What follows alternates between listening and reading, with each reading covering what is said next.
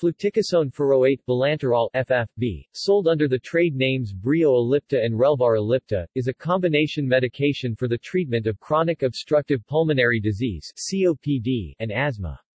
It contains fluticasone furoate, oh an inhaled corticosteroid, and vilanterol, an ultra-long-acting beta-2 agonist ultra-LABA.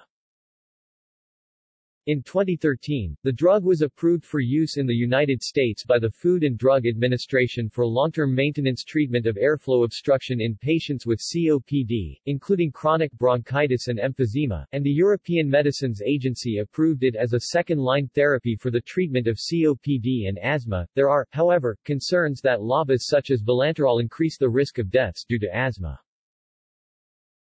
Medical uses there is tentative evidence as of 2016 that it is better than placebo for asthma. Evidence is less strong in children. History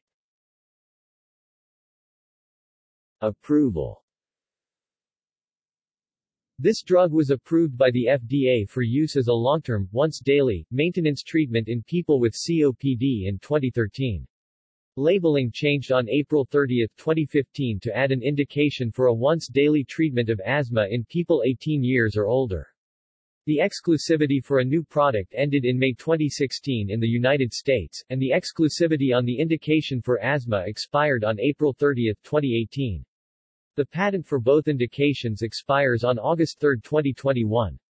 The European Medicines Agency approved the drug for marketing on November 13, 2013. Commercial information GlaxoSmithKline manufactures this drug. As of December 31, 2015, FFB inhalation powder was approved for marketing in 73 countries, and had been launched in 45 countries. Within the trade name, the Ellipta is the dry powder inhaler that the medication is administered in. Innoviva developed this inhaler, and receives royalties on sales. References